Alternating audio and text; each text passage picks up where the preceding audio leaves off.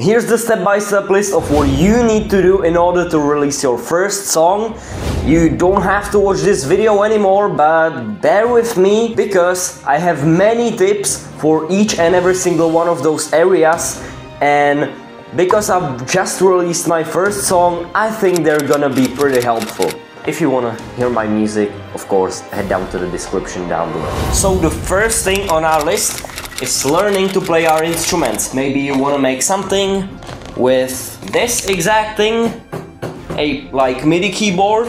Learn to play whatever you want in your music. And my number one tip is what you've heard a million times already, but it's really really so goddamn important and you're missing out your whole musical career because of this. Keep a consistent practice schedule and keep learning new things. Number one is the frequency triangle for choosing your instrument. I have one thing that's like a cheat code. Oh my god, you can do so much keep learning new things because if you like still play the same old stuff you aren't gonna make yourself a better guitar player. Or if you keep singing the same stuff you aren't gonna become a better singer.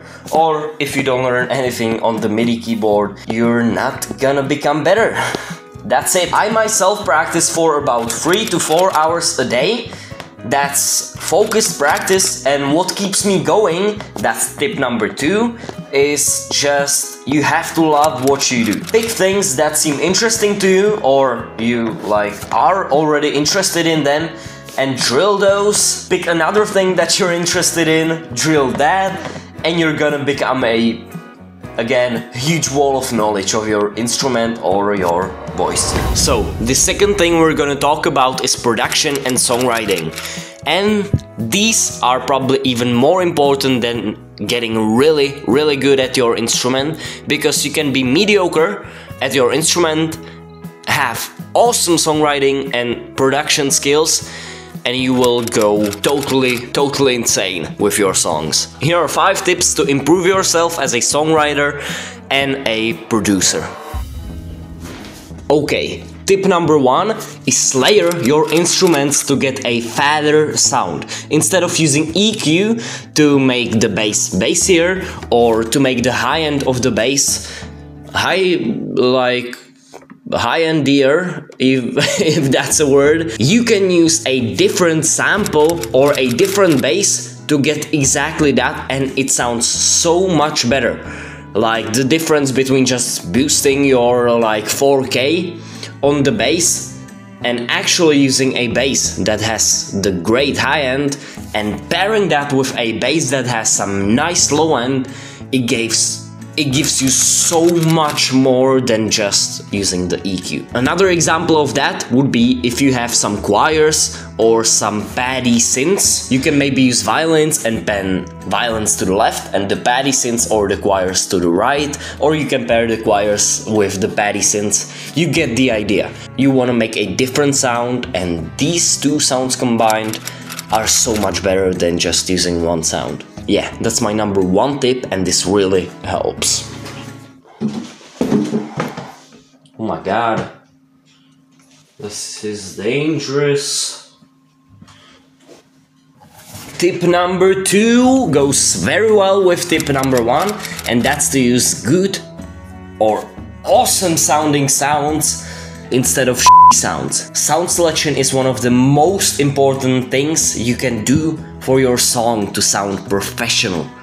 Yeah, it's not EQ, it's not mixing, good sound selection and layering those great sounds is what gives you professional productions. It might be sometimes expensive, but I have one thing that's like a cheat code and that's buying an audio interface and with that almost always come professional sounding VST instruments and pro level audio effects and you can also find a lot of stuff online. I picked 5 of my favorites and put them in the description down below for you to check out. Yeah, that's how sweet I am. Are you there? Yeah. Okay, if you know any production or songwriting or any tips on other subjects we're gonna talk about in this video, Make sure to leave a comment down below so you can help fellow musicians on becoming an actual artist. Yeah, thanks a lot for each and every single comment. Let's get back to it. Okay, here are another three tips for the production. We're gonna go through these fast so we can get to the mixing part. Number one is the frequency triangle for choosing your instruments. And that's that in the low end we have only only this portion of the triangle, but in the high end we have this portion of the triangle. It's like this. Yeah, here's the low end, here's the high end. You can put so much in the high end, but very few stuff in the low end. So keep your low end simple to the bass and kick drum and sometimes maybe some hits. In the high end, you have a lot more room for stuff. And basically what the frequency triangle does for you is it makes you realize that you don't want each instrument playing at the same octave. You would have this in the frequency triangle, everything would fight for your attention and the listener's attention, and you do not want that. So, keep your instruments spread out across this frequency range, and you can have a lot more in the high end. So that's the frequency triangle. This tip was more of the songwriting type of tip, in which, like, when you're writing the song, you have to think which instrument it's gonna be in which octave, and that's gonna help you really, really so much. My god, my neck hurts from looking up. Tip number four is risers and hits are your friend. Use them. risers and impacts make a song from to goddamn pro level. So think of each riser individually. You can change those you can maybe put on some flanger effects, you can put on some panning effects. I really love to do some risers and you can do them from anything.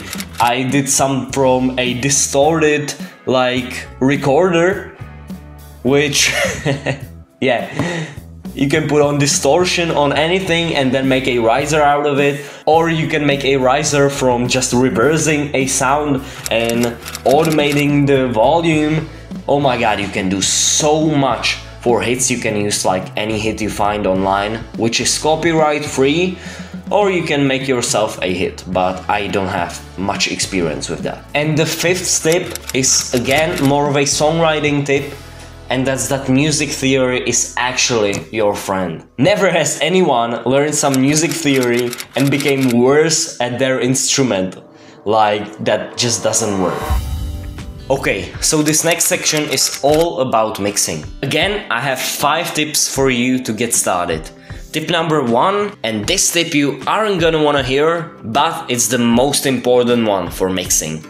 And it's to level your instruments based off of a reference track. A reference track is a song that is similar to your song and is similar to that with its sound, or with its genre. So, find a song that is similar to yours, put it into your project, put the MP3 or WAV file into your project, and from that, you have to level out kind of your stereo output of your track with the output of that track because the track is already mastered so it's gonna be louder than yours in the mixing stage and then level your instruments with each other based off of the reference track and do this very accurately. Like very very accurately. Me myself too when doing my first song I wanted to get to the sidechaining stuff and EQ and compression and limiting and all that stuff and reverb and delay. Oh my god.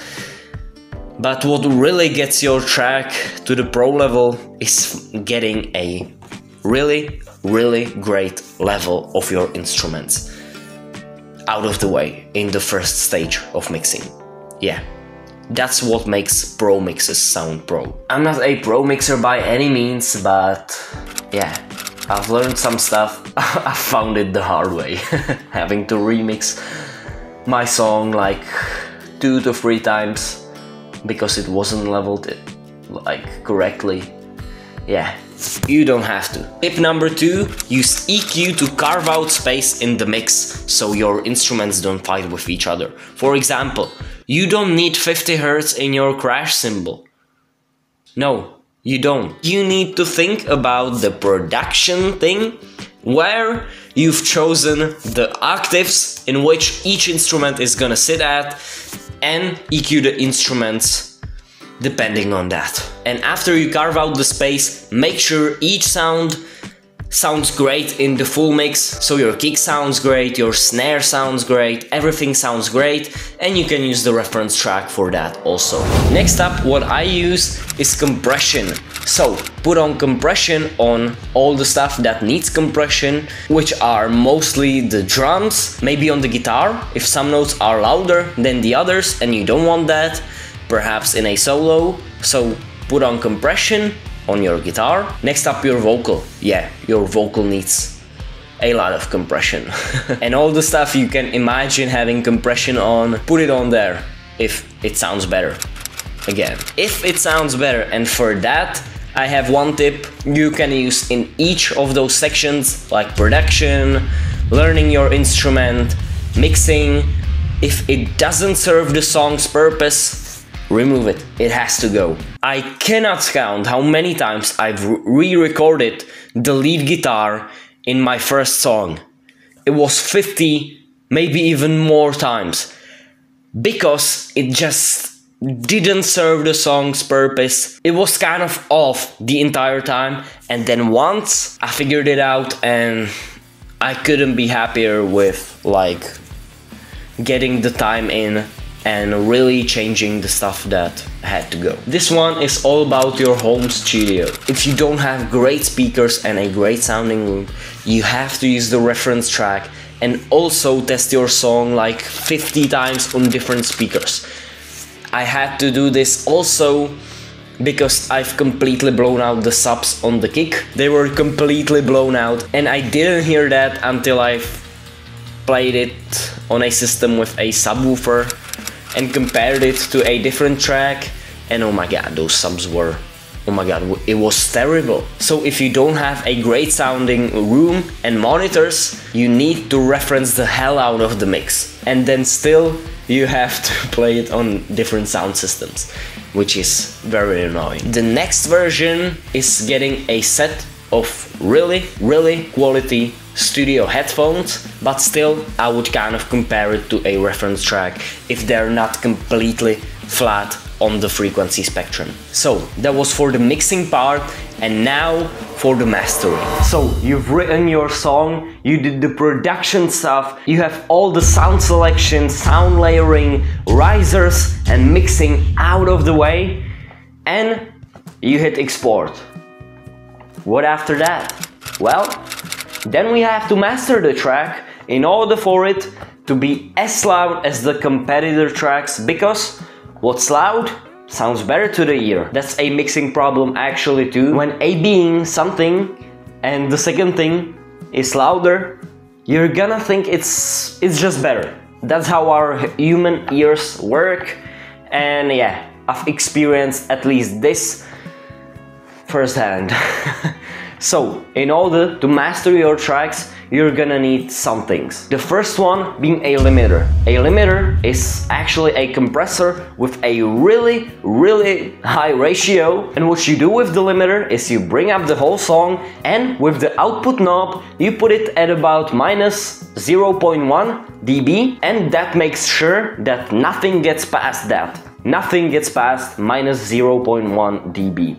Nothing it will get ducked. Next up we have EQ and with that we want to get the sound balanced throughout the whole frequency spectrum so it suits our ears and you can use a reference track for that also. Next up is saturation and a little bit of saturation goes a long way. So saturation on your tracks. And after that the last thing you just want to add in a dither effect which gets rid of any quantization distortion and replaces it with white noise. Yeah, it just makes your tracks better. After that, make sure that you have a fade in and a fade out at the end of the song so there aren't any pops.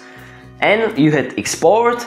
Make sure to use the settings your distributor wants you to like use and you're ready to release your goddamn first song.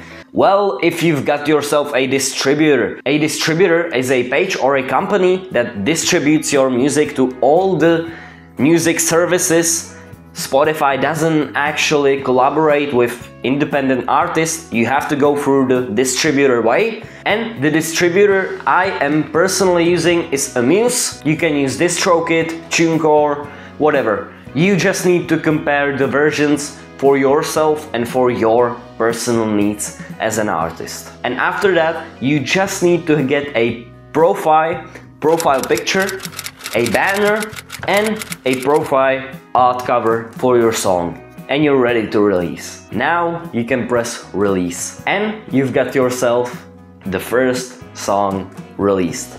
Next up is like promotion and stuff like that, but I won't get into that in today's video. You've got yourself your first song released. I hope you've got a lot out of this video because if I had a video like this in the beginning where I had everything in one place I would be so goddamn excited and if you have any other tips make sure to put them in the comment section down below. I really hope this video brought you something and if so make sure to hit the like button Subscribe to this channel for more videos like this and now make sure to watch this video. I'll see you then. Goodbye.